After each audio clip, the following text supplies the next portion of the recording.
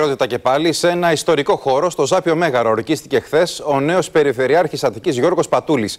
Ο κύριος Πατούλης διαβεβαίωσε ότι θα εργαστεί με στόχο την ενότητα και τις ανάγκες των πολιτών, ενώ για πρώτη φορά δόθηκε ο λόγος και στους επικεφαλείς των συνδυασμών της αντιπολίτευσης.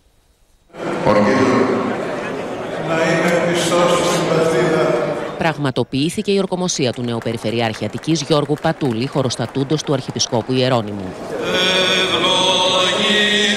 Ο Γιώργος Πατούλης έφτασε το απόγευμα της Πέμπτης στο Ζάπιο, συνοδευόμενος από την σύζυγό του Μαρίνα, τον γιο του Αλέξανδρο και τη μητέρα του Πόπη.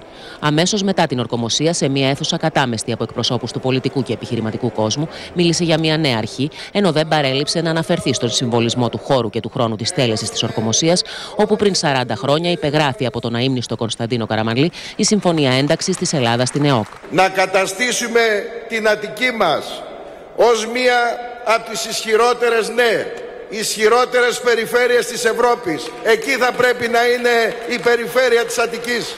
Με πηξίδα την ασφάλεια, τι αξιοπρεπεί συνθήκες διαβίωσης, την υγεία και την κοινωνική προστασία των πολιτών, ο νέος Περιφερειάρχης εξέφρασε την πρόθεσή του να αναδειχθεί η Αττική σε ελκυστικό προορισμό για νέους επενδυτές και περισσότερους τουρίστες, υπογραμμίζοντας παράλληλα ότι οι αποφάσεις θα στηρίζονται στη συνεργασία και τον ουσιαστικό διάλογο.